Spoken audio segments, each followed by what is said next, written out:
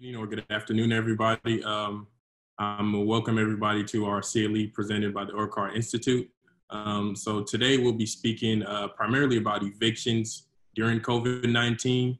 Um, it's a lot of, uh, I guess you could say some issues that are going on within, um, not just the Houston or the um, Harris County area, but um, throughout the entire country with a number of tenants facing evictions. Uh, so a lot of the issues that are being presented are somewhat new uh, somewhat different areas of practice um, for a lot of attorneys. Um, it's a, I guess, a area of practice that's been around for some time, but um, some of the issues uh, are a little bit um, uh, not new, but um, just uh, we may not know as much about it. So hopefully, um, when I'm presenting today, I'm giving a little bit of insight into the area of practice.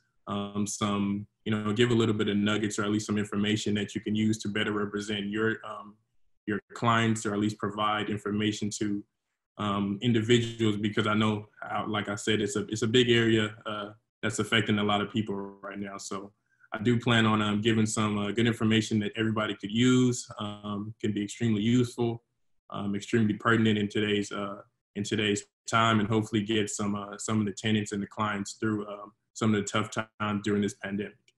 Um, so I'm gonna go ahead and begin.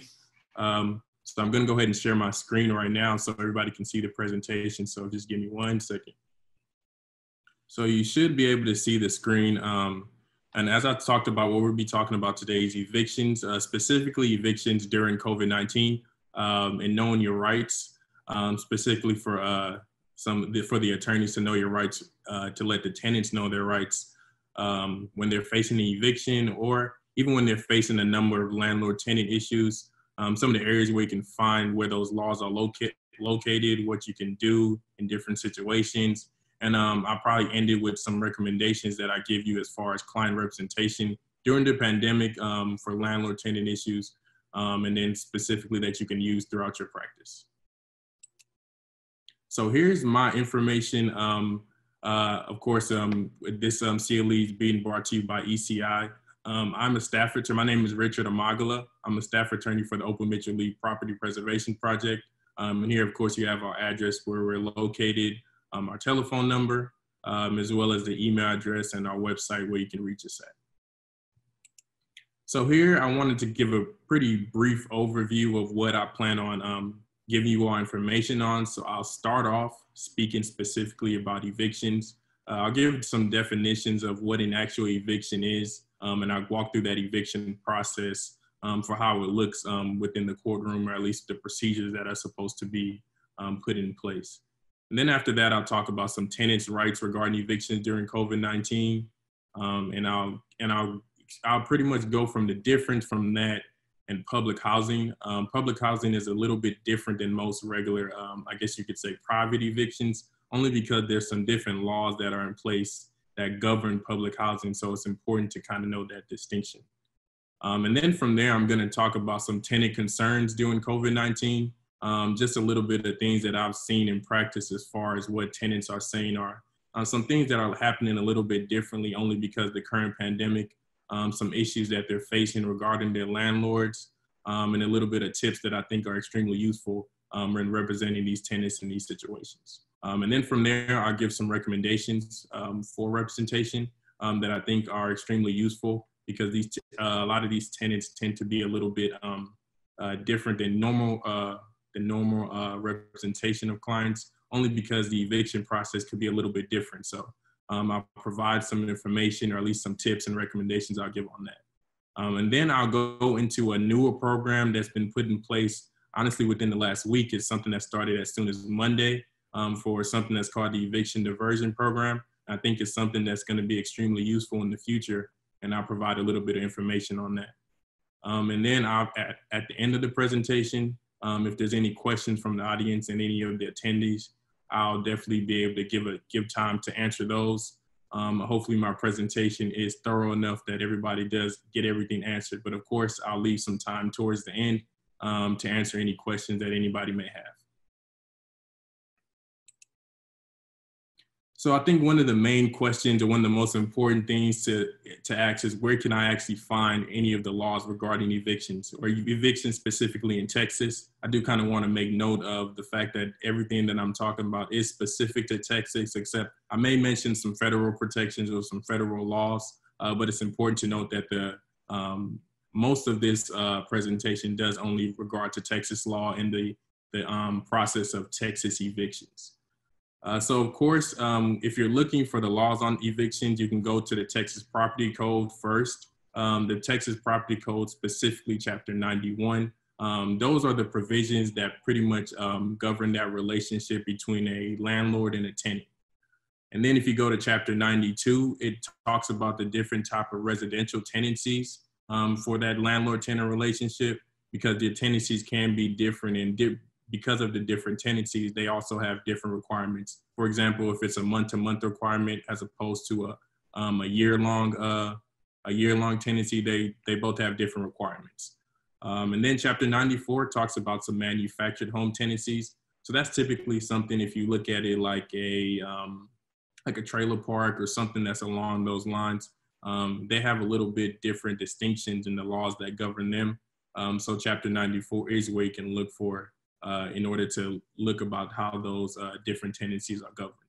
And then you can go to chapter 24. Um, and chapter 24 covers the forcible entry and forcible detainer. Um, and forcible detainer is just the, um, I guess, the legal term or the legal, uh, the legal jargon for what an eviction is, but you'll probably see that used somewhat uh, interchangeably. So you'll either see it as an eviction or a forcible detainer. Um, it's just important to note that those are the same thing. Um, and then you can also go into um, the Texas Rules of Civil Procedure. Um, those also govern the process uh, for a uh, eviction suit, specifically rules um, 500 through 510. Um, and then rule 510 of the Texas Rules of Civil Procedure speaks specifically to evictions. Um, so you may have a, you may use those rules 500 to 509, but 510 is specific to evictions in the JP courts. Um, and then again, another place to look for the laws that govern your eviction is your lease. Um, a lot of tenants or a lot of attorneys may not look to that specifically because they may, may look to the law first, but of course, um, it's important to look at that lease as um, the contract that your client may have signed um, because it's, it's sort of governs that relationship between the tenant and the landlord. So it's probably one of the best places to look initially because it gives you all the information you need and any defenses that you can bring about that's definitely the first place to at least take that initial look at. Um, and then another thing that I'll get into um, a little bit more detail in some later slides is the CDC declaration. Um, it's something that's been um, put in place to put a halt on some on um, evictions. Um, and I think it's a useful tool in practice because it's something that can definitely, at least, if not stop an eviction completely, it could at least buy some time for that tenant um, and definitely give you the opportunity to look for more defenses and more options that could hopefully help help you help that uh, that client or that tenant. Um, and then you can also can go to the CARES Act, um, which was a federal protection that was put in place um, in March, um, and specifically Section 4024, which is governing over the residential tenancies. Um, and then the last place that um, you can also look for is the Texas Supreme Court emergency orders. So the recent emergency orders are they go off of what um, the federal government, the federal government protections, but they do offer a little bit more guidance as far as how they're going to be implemented into Texas courts. So it's definitely a good place to look for if you're trying to find useful information for your practice. So if you're looking at the procedural rules or the Texas rules of civil procedure, you might find some conflicting um, rules in regards to uh, the civil procedure process in an eviction case. But to the extent that you find anything that conflicts with Rule 510 and um, the rules 500 through 507 over that civil procedure, Rule 510 is always going to um, govern over if there's any type of uh, conflict of rules. So you always, if something says, if you read 510 and you read anything through 500 and 507, it says something different, 510 is always going to rule. And then I think a, a good um, advice, or at least a good distinction that I can make when it comes to um, the Texas Rules of Civil Procedure is that um, an individual may actually represent someone who is not an attorney, who an individual who's not an attorney um, could actually represent somebody, and as long as they're not being compensated for their representation. So I think this is a good um, point to make because you may have somebody who is a uh, maybe an intern or at least somebody who works in your office. Um, I've even seen it as someone who's a paralegal or someone like that who goes and represents a client uh, only because maybe it's a learning opportunity or it's an opportunity for either that intern or paralegal to represent somebody. Um, maybe because their attorney isn't um, can represent that person because of a particular day or time, whatever the case may be. Um, I think it's important to note that um, under the Texas Rules of Civil Procedure, um, the person representing that individual does not have to be an attorney, but it's only as long as they're not being compensated. Um, so I think as far as when it comes to maybe somebody interning within a legal office, um, it is a good um, it's a good way to get into that litigation, um, especially being that it is within the JP court. so it's something that could definitely give that the opportunity to see some form of litigation, and then of course you have the opportunity to represent somebody, um, you know, in their eviction suit. And another part of the rules, it actually says that a corporation or any type of entity can actually be represented by a property manager in an eviction case. So I think this is fairly common. Um, if you go, if you are representing a client in an eviction case, it's um, fairly common to see um, either the property manager or apartment manager or some sort of representative um, representing that uh, that property and um, that's totally fine to see. It's not something that um, that's uh, that's out the norm. So it's it def- it's honestly probably more normal for the apart- the property manager to be in court um, than it is for um, the apartment complex or the property to get an owner or to get a, um, an attorney to represent them. So if you see an owner or something like that, it's definitely okay. Um, so I think another thing that I think is extremely important to make a distinction about, about is what exactly is an eviction. So eviction itself is an actual lawsuit by the landlord to remove someone and their possessions from the landlord's property. Uh, a landlord can actually file an eviction against you if you fail to pay rent or for some reason you um, uh, you don't abide by any other provision that's within your lease. Uh, so I think it's it's definitely a good point to make that an eviction is actually is an actual lawsuit because um, you know, I can't tell you a number of times how much I've had a client and they say that because they received some type of other notice or because the landlord told them that they have to leave at this particular time that they're being that they've been evicted. Um, but that main distinction, and I think it's a, a, great distinction to make with your clients as far as um, when it comes from a legal standpoint, is to let them know that the eviction is an actual lawsuit, and it actually differs from a notice to vacate um, which I'll talk about a little bit more in detail when I talk about the process for an eviction. Um, but just to know that that legal right um, to give a possession, it actually doesn't happen until that eviction has taken place. So you always want to make that distinction between um, when, uh, at least that legal distinction between when somebody has actually been evicted or when um, that eviction process actually started. So that distinction in that in the eviction process is something that's extremely important to make, only because it has a lot of legal implications um, for possession that are extremely important. So then uh, a good question is who exactly can actually file an eviction lawsuit? So the plaintiff in that eviction lawsuit actually has to have ownership interest in the property or they have to be an authorized representative of the owner in order to file an eviction against the tenant. And I think this is extremely important because you may find yourself in a situation where you have an eviction filed against somebody, but it's filed by somebody who actually doesn't own the property and they have no right to own the property. And I uh, and believe me or not, but this is actually something that might actually be common only because you might be in a situation where there might be heirship property or there might be property that some that's in the family, but you might have an uncle, a cousin, or somebody who actually doesn't have a legal right to own that home or be in that home, but they follow suit against somebody in that home saying that they need to leave um, but if you actually to end up doing the research within the um, property records or you um, look within um, the ownership of the home and you actually see that the home isn't actually owned by the person who's filed suit.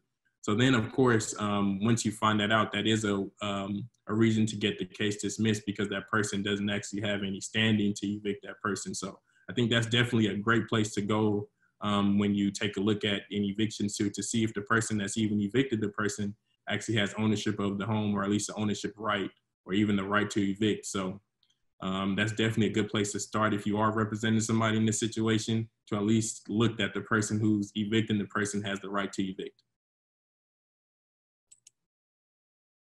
Uh, so another uh, good distinction is to make about jurisdiction for eviction cases. So the justice courts or the justice of the peace courts have jurisdiction over eviction eviction cases and actions. Uh, and jurisdiction in the eviction lawsuit is supposed to be in that justice court that's in the precinct where the property is located. So for, for example, you might have somebody who's in, let's say for precinct seven, um, um, which is um, located um, specifically in the third ward area. And you might find somebody who's trying to evict somebody, but they go and they, they file all the way across town in a different precinct. So if, if that situation does happen, that is something that you can get that eviction case dismissed because jurisdiction is not proper. So if it does appear that the court's jurisdiction jurisdiction is at issue, what you can actually do is do a plea to the jurisdiction. Um, and you can actually challenge the court's authority to determine the subject matter of that action. And this is all before the, the case is even being heard. So it's important that um, you make that argument prior to. Um, and it's a way to get the case dismissed even before. And I, I, think it's important to note this because you might have somebody who's being evicted or um, a tenant who's being evicted, and obviously they're not going to know anything about um, you know, the jurisdiction jurisdictional challenges. So it's important to at least do your research, at least make sure once you receive that citation from that uh, client that um, that the jurisdiction is proper and it was actually filed in the precinct that it was supposed to be filed. I think this is a great way to get some cases dismissed. And I'm not saying that it's something that's going to completely stop the case because the landlord, of course, has the opportunity to file again. Um, but it's something that even with, um, you know, with everything happening right now, it's a possibility of time um, and buying more time is something that's extremely important to do. Uh, so if you if it's if you're capable of at least um, uh, postponing any judgment in the case, that's definitely something that for these particular cases is viewed as a win. So that's something that you can do um, to either buy that tenant some more time, um, move that case out of that um, wrong jurisdiction, and then hopefully, hopefully, well, hopefully it's not filed again. But if it is filed again, you can um, proceed um, accordingly if it's filed in the right jurisdiction. Um, and I think another important thing to note is that um, probate courts, uh, they also have jurisdiction over eviction suits when, when, there's a personal representative uh, isn't of that state is actually a party. So you might find that situation when it comes to heirship property um, that there's a little bit of um, a back and forth as far as ownership, but it is possible to have that eviction suit in the um, probate court. Another thing that's extremely common um, is to have title issues in eviction cases. Um, that's definitely something that comes about when you're dealing with um, some heirship property or some property that was owned um, by some by different individuals and probably passed on where there's been some type of breaking the title or issue in the title.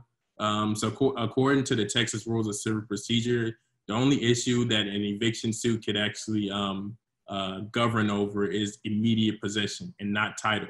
So if there's for some reason there's an issue of title, it's not something that the court is supposed to actually listen to, or at least um, they don't have jurisdiction over. So it is a means of where you can get the case actually dismissed if there's some sort of interrelated issue with title, and that for some reason that issue with title is going to greatly affect that eviction case. So that is something that you can bring up. Um, you can also make uh, if there's any counterclaims or any joinder of suits against third parties um, those are actually not permitted in eviction cases. Um, so if there's a claim and it's not asserted because of this particular rule, it could actually be brought in a separate suit, but it actually, of course, has to be in the proper jurisdiction. And as I said before, if it's something that's, um, if for some reason you're trying to adjudicate title, that isn't something that is proper in the justice courts.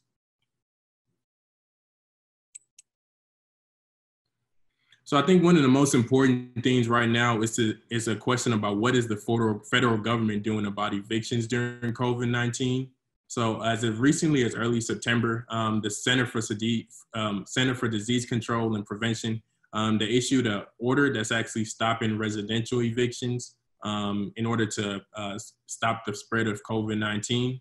Um, so the order, what is actually saying is that there's a it's virtually a um, a halt on all rental providers and is prohibiting any evictions um, that are going to remove the tenant um, until December 31st. As long as that renter provides a re- required declaration um, to the housing provider, but another requirement that's coming from the um, Texas Supreme Court is they also have to um, follow with the court if an eviction suit is uh, subsequently filed. Um, and I think this is something that's extremely, um, extremely vital right now. And for most cases, it's important that um, all of these tenants, if they if they can meet those requirements, that they actually fill out this CDC declaration, but they then they actually follow the steps that they're supposed to follow. So one of those steps are to first fill it out um, and submit it to the landlord.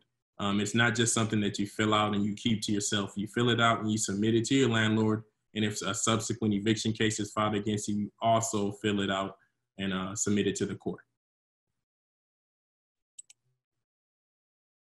So then the CDC declaration um, is you actually have to give it to your landlord, as I mentioned before, and you have to give it to your landlord, the owner of that property, or any any other person who has any reason to or any uh, authority to evict you has to receive that document. Um, you might be in a situation where um, there's multiple adults who live on a particular property. So each tenant or each adult in that particular property has to sign that declaration. So if you have two adults who are on that lease, it really, really both of those tenants or both of those adults are supposed to sign an individual declaration and submit it as needed. Um, so as of now, um, unless that CDC order is extended or changed or ended, the, the order is going to prevent any eviction um, until the end of December. Uh, so December 31st. So presumably um, after that date, unless nothing is put in place, then evictions can be moved forward. Um, it's important to note that what actually happens with that CDC uh, declaration is that the case is abated. It's not actually dismissed. It's not um, it's, it's not dismissed from any court. It's just abated. Um, so it's pretty much all the merits of it are still in place. It's just abated until that after that December 31st deadline, and then from there, courts, um, different courts, um, depending on the court itself, can set it after that December 31st deadline.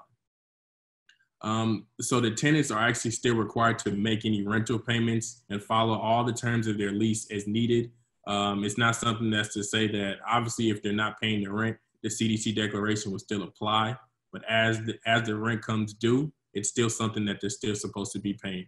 Um, so they may be in a situation where they can't make those payments. Um, but as uh, because that CDC declaration is in place, um, it'll at least give them that protection or at least that hold off until December 31st. So that's something that's a um, extremely important. Uh, it's a, a, great distinction to make because even if they're not making payments on it, um, it's not saying that the payments are wiped away or that the payments aren't supposed to be due. It's just saying that the eviction, or at least that judgment to that eviction, or at least the court date to that eviction, is going to be abated until after that December 31st deadline.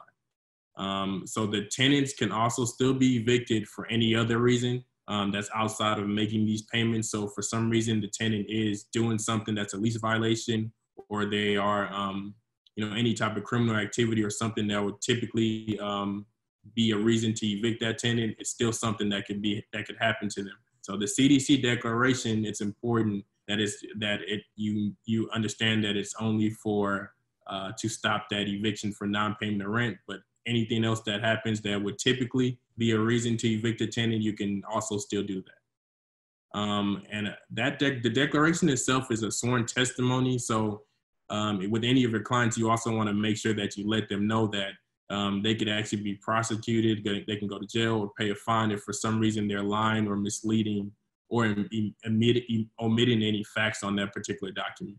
Um, because it is a, it's a sworn uh, testimony for them. So once you submit it, uh, once they sign it, just make sure they know that anything that they're sign, signing is true. Um, and then on this next slide, I'm going to kind of go through the requirements for that CDC declaration, only because some tenants may actually, um, you know, not be able to uh, meet all of these requirements. So I'll, you at least want them to know what they're signing. Um, and this CDC declaration can actually be found on the CDC's website um, for all of the, um, the tenants who do want to sign that. So it's something that's been made available um, in already drafted form. It's not something that, as an attorney, you have to draft yourself. Uh, if you do feel as if you want to make it in a different form, that is okay. It's just make sure that you um, that it is in the form that they've already um, recommended. Uh, so for renters to be eligible for the protection under that order, they have to provide that declaration and they actually state that they've made their best efforts to retain um, rental assistance um, and I think it's good that um, that best efforts is actually left in there because it's something that uh, pretty much puts in place uh, not an exact standard. So you can actually make a best efforts is kind of uh, you know it's a it's a loosely used term because for one tenant, best efforts could mean something completely different from another tenant. But as long as you can find your way to you know kind of get in, I think they pur- the CDC purposely did that to leave a little bit of uh, wiggle room, you know, for a tenant because you know as as I said, best efforts, you know, that's a that's a subjective term depending on who that tenant is. So it's something that definitely gives a little bit of wiggle room for each tenant to be able to uh, meet that standard. So the next standard that they have to meet um, for that declaration is they have to earn no more than $99,000 for that year um, for 2020, excuse me, or no more than 198,000 um, when they're filing jointly. So this is um, obviously since 2020 isn't over, it's pretty much just you're assuming that you're not going to make more than that for the year. Um, and it's not, it's something that um, if, you, if you don't believe that you're going to have some type of su- substantial income within the next couple of months, um, most tenants can actually make that distinction. Um, so then when you're not required to report, if another um, requirement is that if you weren't required uh, to report income in 2019 to the IRS, you can meet this requirement. Or if you received a federal stimulus payment, under the CARES Act, you can also meet this second requirement. So the third requirement is if you are unable to pay full rent due to a number of factors that remain unconnected to COVID-19. So it's important on there that you you see that there's a distinction in saying that even if there's a reason that that tenant can't make payments because of COVID-19 or something that's completely separate from COVID-19, they could still meet this third requirement. So they they left a little bit of that wiggle room in there just so if there's a reason and it's, it's difficult for me to think of something going on right now that's not as related to COVID-19. But if for some reason your loss of income or the, the tenant's loss of income is because of something that's completely unrelated to COVID-19, they could still meet that third requirement as long as they do show that they're unable to meet that rent because of any factor that they can, um, any reasonable factor that they can um, find fit. Um, and then the fourth one, it says that if you are using your best efforts, so you as the, the tenant is using their best efforts to make timely partial payments. Um, so you might have a situation where there's a tenant and they're making payments. Um, their rent is maybe a thousand dollars, um, but they're making payments of maybe two fifty at a time only because they can't make the payments in full. Uh, so that's something that they can use to make um, to meet that requirement. But you might have a situation where a tenant isn't making any payments whatsoever but then you still have that that um, best efforts term in there that kind of gives them a little bit of that wiggle room. So even if you're not making that those partial payments, if you're still using your best efforts in order to make those payments, and even though you're using your best effort efforts, it's still you know you're still not making any payments. It is a little bit of wiggle room that you can still meet that fourth requirement. And the fifth requirement is an eviction would likely render the individual homeless or force that individual to move into a living quarter, living close quarters um, in a new congregate or shared living setting, setting, setting because that individual has no other available housing options. So pretty much means that if you uh, if if you moving out of this home, you being evicted from this home is going to re- result in you having to move in with others or family, and you have to live closer, or you have to end up honestly being homeless. Um, that's you can meet this fifth requirement, and it, it it makes sense when it comes to the CDC's purpose for this particular declaration, only because it's supposed to stop the spread of COVID 19. So, if because of this eviction, you move into um, a new home, but maybe you know five other other family members or even more, then obviously that would um, contribute to the spread of COVID 19. So, it's something that um, definitely falls in line with the purpose of this declaration. So, if uh, another question, I've kind of uh, spoken a little bit briefly about it um, during this presentation, but another question is can a tenant still be evicted for other reasons? So yes, that CDC order, it uh, does not prevent evictions for any other reasons outside of non-payment of rent, and it doesn't eliminate any other obligations under the lease. Um, and I think that's a good thing to share with clients only because they do believe that because that CDC declaration is put in place, that they don't have to pay rent and sometimes that they don't have to abide by other obligations of the lease. Uh, they definitely still do. It's something that's still put in place. That lease still governs that relationship. It's just that the case is being abated until after December 31st. That's that's the only protection that's being put in place. Any payments that they have to make or any obligations they have, they're still in place from that. Um, and the landlord can actually, even while this um, CDC declaration is put in place, the landlord could still charge late fees or any other payments um, for non-payment of rent. So it may be a situation where you know that rent is accumulating or those late fees on that rent are accumulating. So it, it's it's um, somewhat of a um, it's a band aid as of now with the CDC order. It's not a an all um, all right fix. So it's just something that can that's just a, it's delaying that case to see if there's any other fixes or defenses that can be put be brought, um, and really just for as the CDC is said to you know stop the spread of, of COVID-19. So it actually may be possible to delay the eviction using some other procedures, um, but it's currently still possible for eviction to move forward um, outside of um, the CDC declaration if that uh, tenant can meet those obligations or meet those requirements. So the process for an eviction, the landlord Lord first has to give what's called a written notice to vacate, and that um, statutorily has to give that uh, tenant at least three days to move out. Um, the notice has it can be delivered to the tenant or to anyone who lives on that property who's over the age of 16, or it can be mailed or it can be posted on the inside of the front door. Uh, the date that's actually on that notice, um, and it's something that, that I always try to make clear to my clients is that date is not the date that you're actually going to be kicked out. It's the date that the landlord has to give you in order to file that eviction.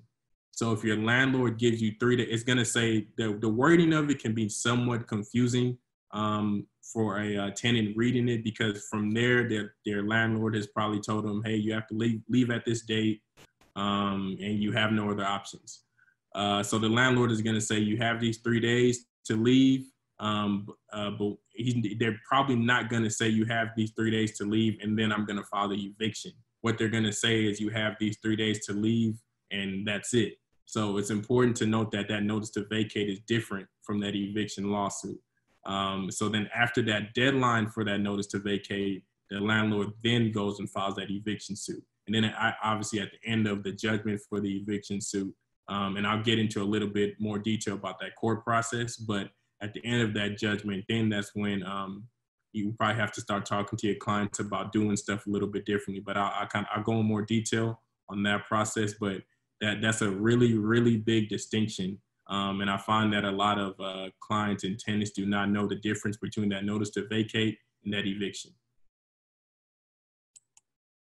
So then the process again um, is the tenant, the tenant, if the tenant fails to move by that deadline of the notice to vacate, the landlord files an eviction in the appropriate justice of the peace court. So a reminder of the, the appropriate justice of the peace court is the court that's located in the precinct in which the property is located. Um, so then after the case is properly filed, uh, the court's gonna serve that tenant with the citation um, and it's gonna let the tenant know the, the date, the time to appear. Um, and as of right now, it's usually gonna include Zoom information. Uh, so whatever the, um, I guess the, uh, the access code or whatever it may be for them to access um, the Zoom information for that court. Uh, so the court could actually look at um, what's available. The, the tenant could see what's available, what time they have court, and they could join um, via Zoom. So then the tenant and the landlord must appear on the date that's set. Um, so when they appear, they can they can both appear via Zoom, and it's something that a lot of the courts are um, probably doing as of now. They're they're having their hearings via Zoom. Um, and some some courts are you still have the opportunity to do it in person. Um, but i think some courts have um, have been most courts have been given especially in harris county have been given that option to uh, have that hearing via zoom. So then again um, i'm kind of harping on the, that difference between the notice to vacating that eviction. So it's just important to note that legal difference between what happens within that notice to vacate and that actual eviction um, so then it's I just I feel like it's extremely important to notice to note that because um, most tenants they tend to surrender possession of the property after they receive that notice to vacate um, because they're unaware of that legal process for how um, they actually do have some protection and they have that right to that hearing in that eviction suit. Uh, so then after that, uh, after judgment is rendered in that eviction suit, then that's when they um, uh, they've lost that right to possession of the property. But I think it's something that's extremely important to um, pretty much on the onset of representation, you want, you want to at least let them know that. Um, I found that that gives them a little bit of um, comfort only because you may have a client call you or a tenant call you at the time of that they received a notice to vacate and they think that they have to be out by the next day.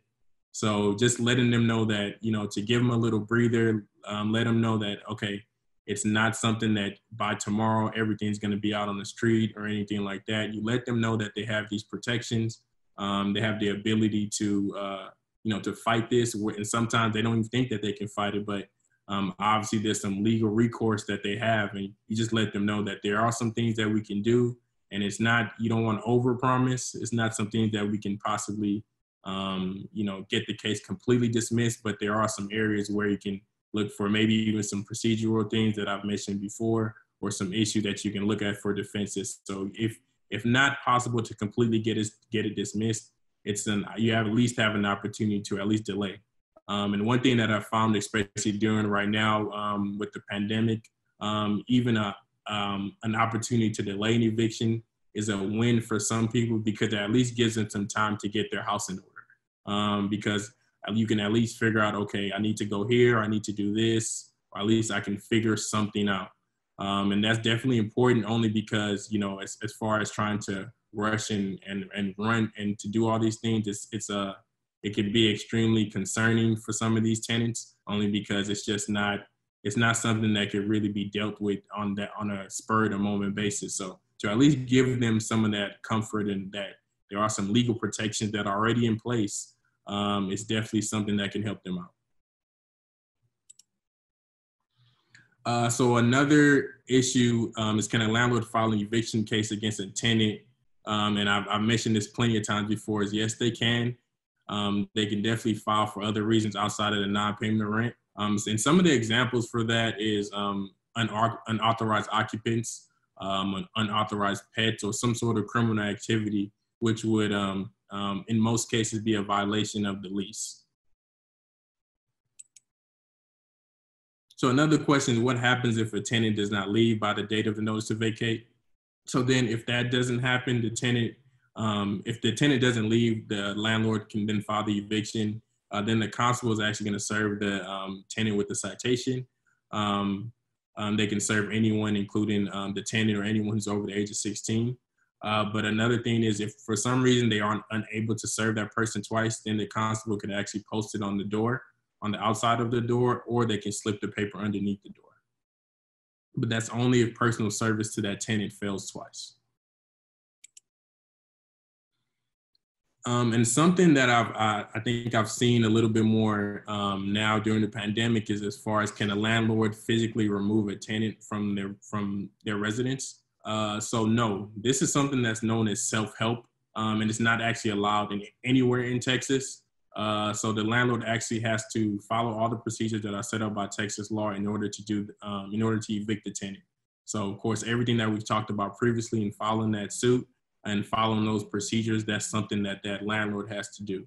Um, but anything as far as you know, physically trying to take the person out of the home or um, anything like that, that's something that's known as self-help, and it's not in any situation, no matter if the rent is late, no matter if um, whatever is going on, it's not something that the landlord can do, um, no matter what the situation is. So then what happens if a tenant actually lose in justice court or in justice of the peace court? So the good thing about um, eviction cases is um, if you do lose, you always have the right to appeal, and you have the right to appeal to um, to have the trial in county court de novo. So it's a whole new trial, and you don't have that. It's um, you can it's a whole new trial, a whole new judge. Obviously, you have the opportunity to present the case anew. Um, it's, it's something that um, it definitely it definitely gives. Um, if it's a situation where you're looking to buy time, it's definitely something that allows for the tenants to do that um, uh, the landlord, uh, you, the landlord can then um, the case, everything that's in the case at the justice court is then brought up, but every the case is completely new. There's no um, uh, there's no um, it vacates that original judgment and it's a completely new trial. But a, a, a bigger thing as far as eviction cases is that they actually have to be filed um, within five calendar days. And that's extremely important because it's five calendar days and not five business days if for some reason five days after that judgment in the JP court um, it is uh, maybe a weekend or a holiday, then that following um, Monday or that following business day will be the last day that you have to um, appeal that judgment. Um, so if the tenant does appeal, um, um, like any other appeal, it can be done with a cash bond um, that's set by the court, or the tenant could actually file a sworn statement of inability to pay court costs or appeal bond. and usually these are made available in the Justice of the Peace Court, and they're supposed to be made available in the Justice of the Peace Court. so uh, it's typical for for a tenant um, for the JP cases, all they have to do is file that um, uh, that statement of inability, and it's uh, it's treated as a appeal. So it's something that you'll see a lot of tenants um, probably even do it themselves, only because it is somewhat of a simple process in just filing that um, that statement in order to file their appeal. So it's something that most tenants are able to do it themselves, but you might have some who aren't, and that's something obviously with legal assistance that they can that can easily be done. Um, so then if that tenant does file that uh, statement of inability in the eviction case, um, and the tenant was actually living at that property at the time the eviction was filed, um, then the tenant actually had the right to request a um, that an attorney be appointed to them at the county level. It's not something that you have the opportunity to do at the um, JP level. Um, there's a, I guess, some conversations, or at least the it's being brought up of possibly doing um, what's called a right to counsel at the JP level. But as it, as it, as it states right now, it's not something that's been put in place. But hopefully in the future, it's something, um, especially with the you know the onslaught of evictions, specifically in Houston and Harris County. Um, that right to counsel is something that um, I know there's a big push for right now. Um, but hopefully in the future, it's something that could actually be put into place. Um, so then from there, if the tenant um, if the tenant was evicted for a non-payment of rent, the court's actually going to decide how much rent is going to be put is going to be paid while that case is on appeal. Um, so that amount that the court uh, deems the amount that's, that the tenant is supposed to pay, it's actually going to be paid to the court's registry. Uh, you might have a landlord that says, okay, the first is here, even though the case is on appeal, and the landlord says, I need my money. But what's supposed to happen um, is the tenant is supposed to pay whatever that amount that's been deemed by the judge or by the court is supposed to be paid into the court's registry. So the court is pretty much holding that money until judgment in the um, in that eviction appeal uh, is final. Uh, so then after that, uh, if um, part of the rent is being subsidized, you might have a, a, client or a tenant who has their rent subsidized by some sort of government agency or housing authority. Um, so if part of that rent is being subsidized, the court's actually going to state in their judgment that the tenant pays this amount and the government is going to pay this amount. So even at that, the tenant is going to pay whatever amount that they're supposed to keep paying into the court's registry, and then the government um, accordingly is going to do the same. So then what actually happens if a lawsuit is completely uh, ignored? It's never something I would recommend from a tenant standpoint, um, even if they think that they don't have any defenses, uh, because if it's ignored uh, or the tenant doesn't appeal, um, appeal a judgment, then it's likely going to be a default against them. Uh, so then what actually happens after here is the landlord gets what's called a writ of possession. Uh, so this is an order from the court and it tells a constable or a sheriff to give the landlord possession of the property.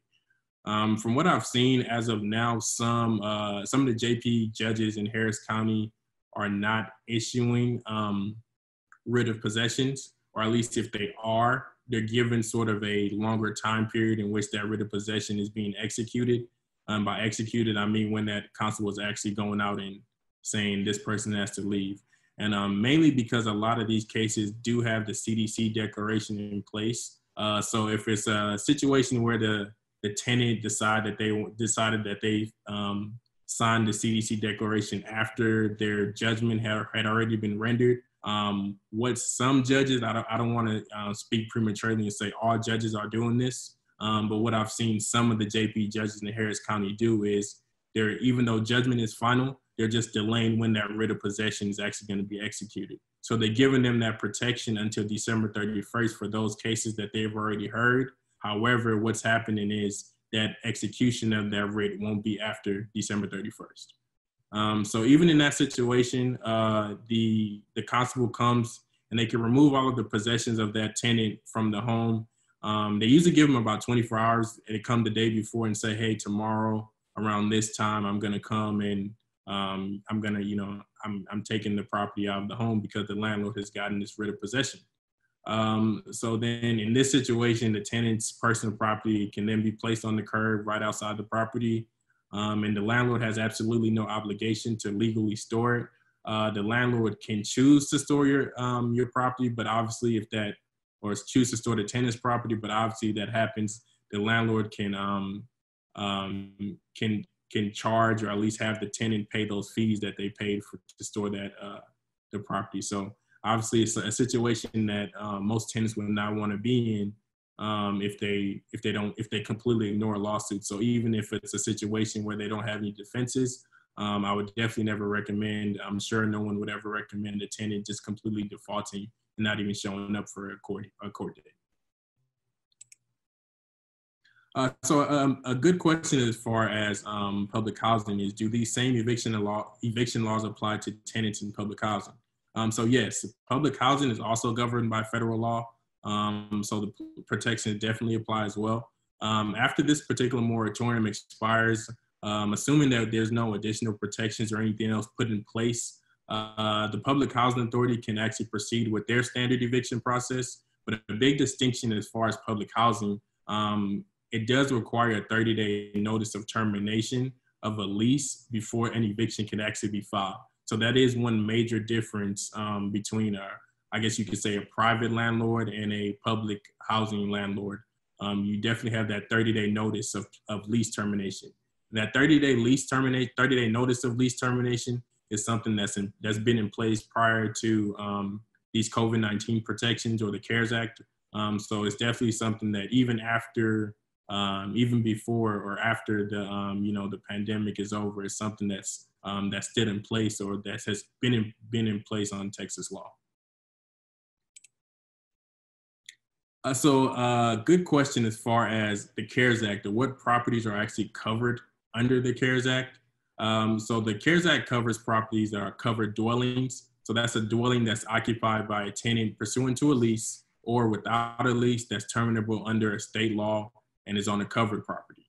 So a covered property is any property that participates in VAWA, which is the Violence Against Women's Act of 1994, um, or a property that participates in the Rural Housing Voucher Program um, under the Housing Act of 1949, or if that property has a federally backed mortgage loan, or it has a federally backed multifamily mortgage loan. Um, so it can be a little bit confusing to at least know what um, what programs and what properties fall under this. But this is an, an exhaustive list of those programs. Some of them are extremely common, some that we may know of just in um, um, uh, every, just looking at them every day. But some of them are probably some properties that um, even as attorneys we're not as familiar with, only because they might be things that um, are talked about on a day-to-day basis. Um, but of course, public housing, um, Section 8, which is a fairly common, or at least one that most people may know about, uh, lower income housing tax credit, which is a um, when the federal government the federal government gives a tax credit um, for developers to build particular properties for lower income. Um, if the property is a property that's covered under that program, is something that's still subject to the CARES Act. Um, housing for the elderly, housing for people with disabilities, multifamily rental housing, um, below market interest rate housing, a home, which is HUD, Housing and Urban Developments um, housing program, um, housing opportunity for persons with AIDS, the McKinney-Vento um, homeless uh, McKinney-Vento Act homelessness program. Um, an extremely common program underneath um, McKinney-Vento Act is um, rapid rehousing in Houston. So it's definitely something that a lot of um, properties in Houston are subject to this CARES Act. Um, and Section 515 for rural housing, rural rental housing, um, Section 514 for um, uh, farm labor housing, housing pr preservation grants, multifamily rental housing, and uh, USDA's uh, Rural Housing Choice Voucher Program. Uh, so these are some, um, a lot of properties within Harris County, Houston, and the Texas, and Texas generally speaking, um, fall under this, um, only because they do receive um, some sort of housing, uh, some sort of um, funding because of these programs. So that's definitely a great place to check if they're covered by any of these programs and that property is subject to the CARES Act. And then, of course, um, for covered properties with federally backed mortgage loans, so that pretty much means that they're receiving money from the government. Um, so these include um, Department of Housing and Urban Development, Department of Veteran Affairs, uh, Department of Agriculture, and loans under Fannie Mae and Freddie Mac. So uh, a question as far as the CARES Act goes is, does a landlord have to prove that his property isn't covered by the CARES Act? So initially under um, the Texas Supreme Court's 15th emergency order for eviction proceedings that were filed um, before March 27th, which is when the CARES Act was pretty much put in place. So anything that was through there in July 25th, um, all the landlords had to submit a sworn petition and it actually had to contain a description of the facts for the grounds for evictions, why the eviction was happening, and it also required that the, the landlord state that the property was not covered by the CARES Act. So initially, um, that protection was only to apply to through March um, 27 to July 25th. However, the Texas Supreme Court um, has since required that the a CARES Act affidavit, so an affidavit that actually has a description of the facts of the eviction um, and say that the property is not covered by the CARES Act. Um, so the Texas Supreme Court actually says that they require that CARES Act affidavit to submit it with all of the eviction filings moving forward.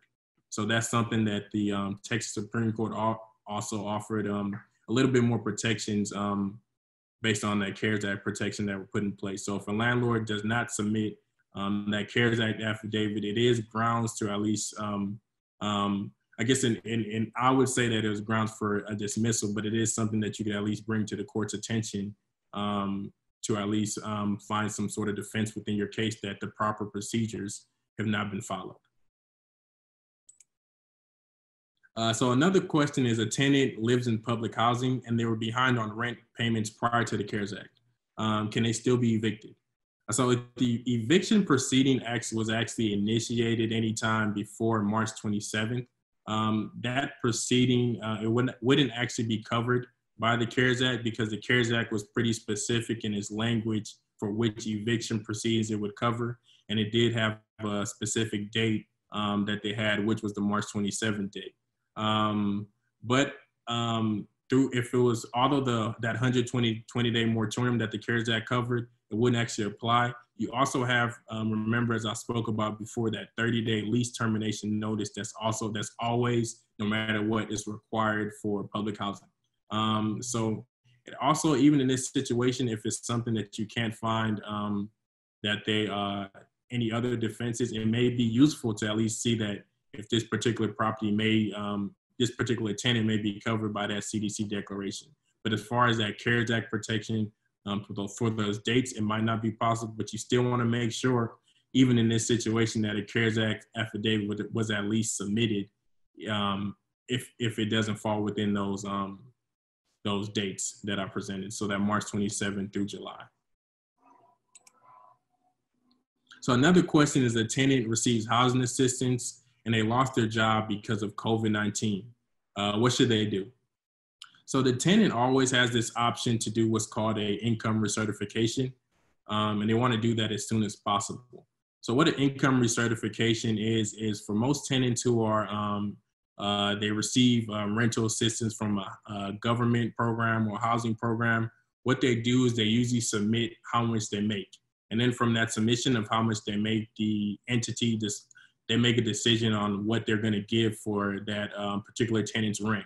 Um, so in some situations, you might have um, a tenant paying, um, you know, from anywhere between um, just different percentages of what they of their rent. So you might have a tenant who pays 50% um, of their rent, and the government pays the other 50%. in a situation where that tenant has lost a job or lost some income, that income recertification is extremely necessary because it might be something where you need to change that percentage of how much that tenant pays. So the tenant's income may be reduced to completely zero. Um, so it's something that you definitely want to know that you definitely want to let that um, government authority or that housing authority know that um, that tenant isn't making um, as much as they had previously uh, submitted. So that income has changed, and that's known as an income recertification.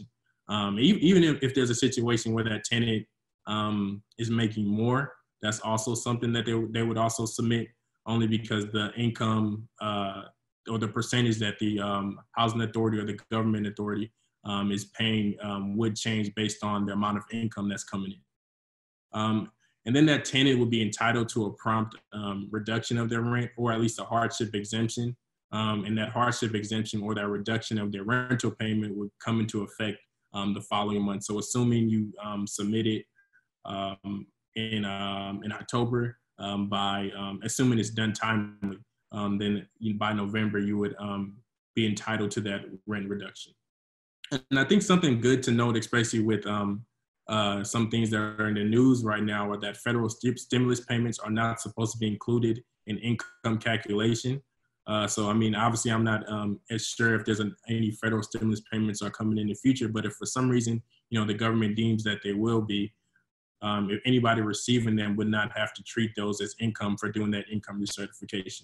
Um, and I think that's another important thing to note because if it is um, treated as, as income, it's something that would definitely throw those numbers off as far as um, the income that that tenant has received. So another uh, thing is the tenant uh, has not paid their rent during the pandemic. Can the landlord actually disconnect their utilities? Uh, so no, a landlord cannot do this, and any any type of disconnection of the utilities is a violation of the property code, even if they are behind on rent um, the tenant can actually file what's called a writ of restoration with that Justice of the Peace Court, and it's actually going to state that their um, utilities were disconnected improperly, uh, were unlawfully, um, and the landlord's proper way to always deal with any non-payment of rent or an eviction case is to file that eviction. Um, so I think this is something that's, as of right now, it seems as if it's fairly common, only because um, you know what some landlords or what some what some landlords are doing are they're probably shutting off utilities or shutting off lights? Um, but that is something that is unlawful. Um, the tenant should and it's something that's deemed as self-help which is illegal as i mentioned before but that tenant does have some um, recourse in doing that and then of course is to file that writ of restoration um, and then once they file that writ of restoration if a landlord has interrupted any utility services um, it violates the property codes as i mentioned before and they can file that writ of restoration with that justice of the peace court in the precinct where that property is located. Um, and whatever they file that complaint, it's supposed to obviously state that unlawful disconnection um, of the by, that's been done by the landlord. And then, of course, what they're going to do is have an ex parte hearing. Um, and the, the, hearing is ex parte, um, and it's something that's done almost immediately only because of the circumstance of, you know, a tenant having their lights or their um, water shut off is something that's seen as uh, something that's extremely important and you know needs to be dealt with in somewhat of a timely manner. Uh, so obviously, when the when it's heard, it could be something that's done ex, ex parte. Um, but the landlord or the property owner actually has the ability to request a hearing um, after that order is given. Uh, so that's something that's usually done on a quicker timeline. So it's something that you can pretty much have um, all of these hearings up in in the matter of a couple of days only because of the um, importance or the uh, necessity of some of those utilities. Um, so, so, another question is a tenant or a family member um, has been diagnosed with COVID-19, can the landlord evict them? Uh, so no, a landlord cannot evict a, a person only because they're sick and they haven't actually done any, they haven't actually violated their lease in any other way. Um, but the tenant is actually, of course, to act to follow any guidelines that they need to follow as far as um, um, maybe social distancing or at least quarantining for at least the time that they're supposed to quarantine or any other guidelines that have been, have been put in place, um, they're still asked to at least follow those. Um, so a tenant is late on rent, can the landlord seize their property? So I think this one is a little bit interesting because it's, it's something that the landlord could actually do. So in, uh, in Texas law, the property code actually gives the landlord the ability to place a lien on a tenant's non-exempt personal property for any rent that is unpaid or delinquent. Uh, so if a tenant is behind on rent and there's a written lease that actually gives the landlord permission to exercise um, the lien on the property, the landlord could actually um, enter the rental unit and take anything that's non-exempt according to the Texas Property Code. Um, and they can secure that payment for that delinquent rent. So, but the important thing about this clause, it actually, it, if it's in the lease, it actually has to give the landlord permission and it has to be underlined or at least printed in um, conspicuous bold print to be um, enforceable. And uh, when the landlord seizes that property, they actually have to leave, leave, a written notice of entry, an itemized list of all the items that they have removed, um, just at least let that tenant know that this is what I took. And then here's a list of some of the exempt personal property. Uh, some the, the, under the uh, Texas Property Code, and some of those include um, home furnishings, um, some family heirlooms, provisions for consumption, uh, farming and ranch vehicle and implements, tools, equipment, books, apparatus, which includes boats, motor vehicles, um, things that are used in a, a, person's typical trade or profession, um, wearing apparel, so clothing, things like that. And then jewelry that doesn't exceed 25% of that uh, limitation that's in the property code, which is 100,000. Um, two firearms, um, athletic and sporting equipment, which also, includes bicycles, or it also includes a motor, motor vehicle uh, for each member of the family or for an adult who um, doesn't actually have a driver's license um, or they don't, uh, uh, they rely on, or a license for somebody who actually, who they rely on to operate a vehicle for their benefit because they are an unlicensed person. So another question, um, a tenant has a commercial lease. Um, would any of the COVID-19 protections apply to those leases? Um, so no, the emergency orders and the CARES Act, um, they actually don't apply um, to commercial leases. They only apply to residential leases. However, there might actually be some protections that are provided in some other areas of the CARES Act that might give some uh, um, some legal recourse for some of these individuals with commercial leases.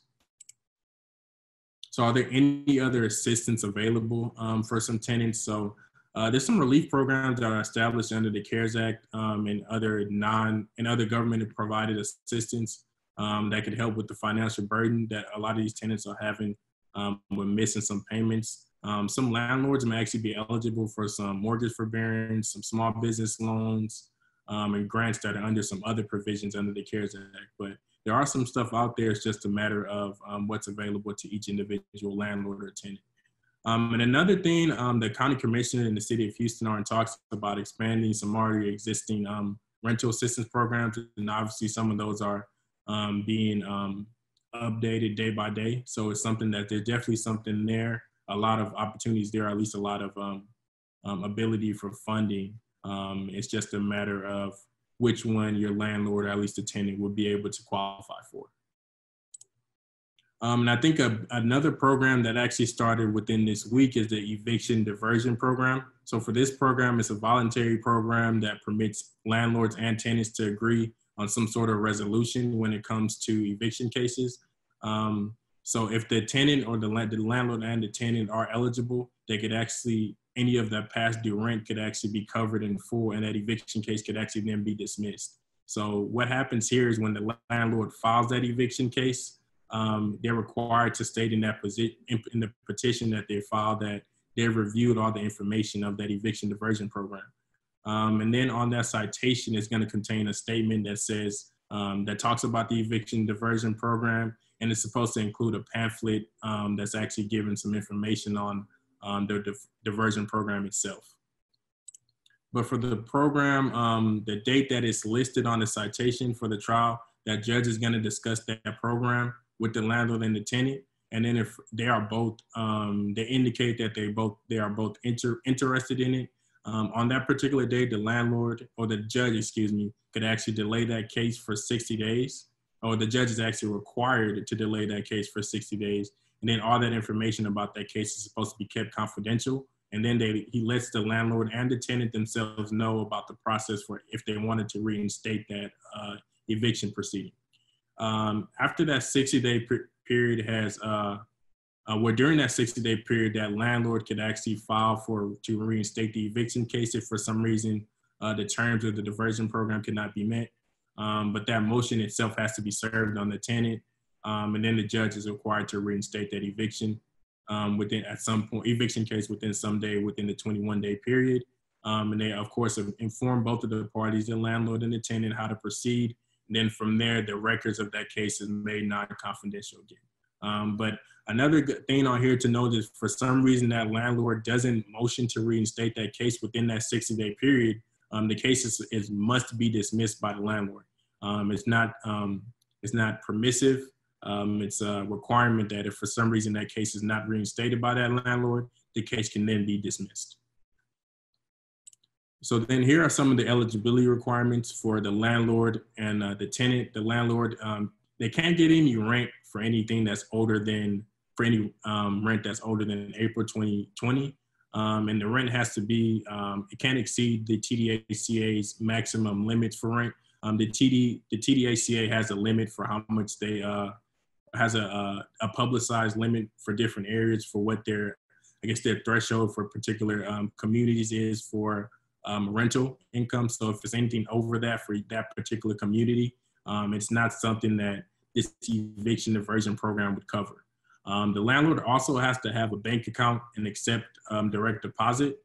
Um, and if they're already receiving assistance or public housing assistance, the landlord would then, would then be deemed ineligible. So that's if somebody else within the, the property itself is already getting assistance. Um, because they have other tenants or other units who get assistance, they would be ineligible. Um, so then the units that are owned by a government, by a government entity, uh, wouldn't actually be able to get use this eviction diversion program.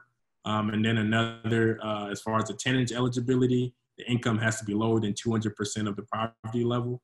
Um, and then the household has to be financially affected by COVID-19. Um, I guess it's difficult to think what, you know, what household hasn't been somewhat financially affected by COVID-19. So I think that's a threshold that most tenants can meet um, in this criteria. And then again, the tenant would be ineligible if they're receiving any any um, tenant-based voucher or they're in a unit that's received some sort of project-based assistance or if it's public housing.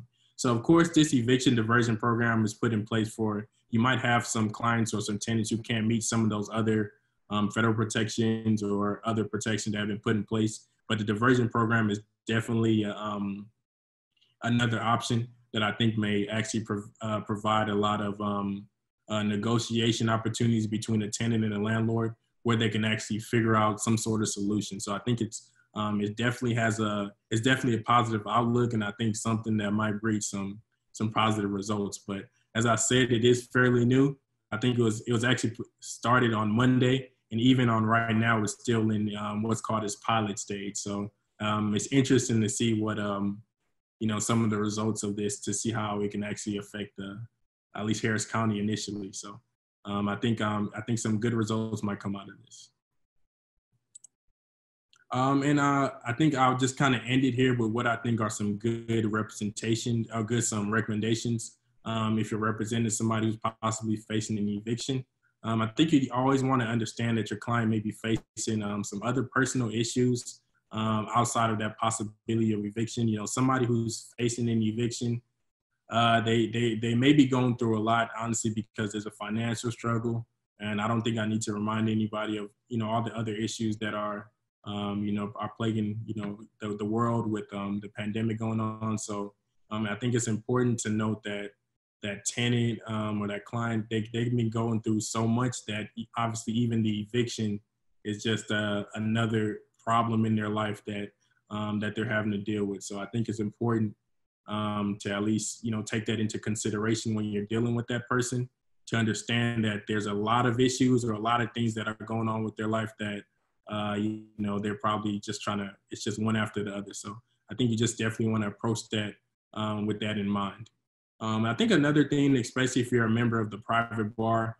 you also want to um, uh, consider if you can provide your services pro bono or at least even at a, at a discounted rate only because obviously the person who's in this position, you know, they might be going through some sort of a financial struggle. So obviously you don't want to add on to that struggle, but obviously it's something that's um, simply a recommendation.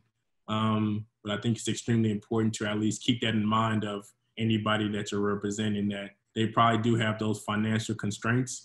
Um, so you definitely want to at least be um, flexible with what you're doing with that. Um, and another thing is to always remain empathetic for these clients. As I mentioned before, you know, they're going through all of these issues and all of these problems on top of the pandemic. So obviously the eviction, of course, is another issue. So I just want to keep that in mind and be um, empathetic towards these clients.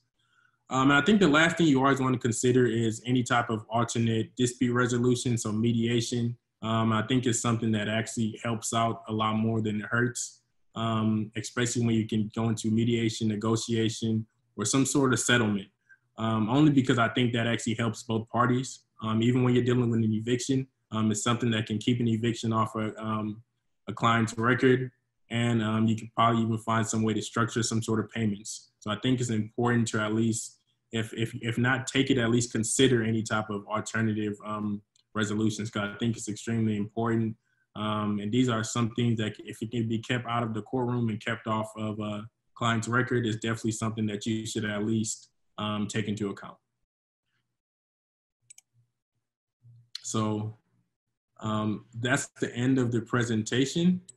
And I, will go ahead and see if um, I do see some messages in the chat and I'll go ahead and read them through um, to kind of do a Q&A uh, to answer from there.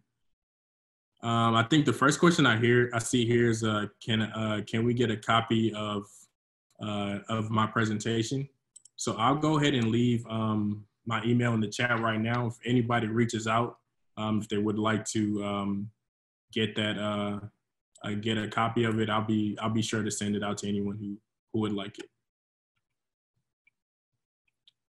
Um, I do see that um, Gloria didn't mention as far as receiving any CLE credits. And just so for everyone joining us, if you do want to get any CLE credits, um, you do want to reach out to Dean Prudence Smith, um, and then she can definitely facilitate that from there. And of course, like I said, we'll email you a copy. Um, Richard, do you see the Q&A uh, when barber shops and beauty shops were ordered to close, some owners continued to charge rent even when tenants were ordered not to operate. What defenses are available to the tenants barber shops were forced to close during COVID-19?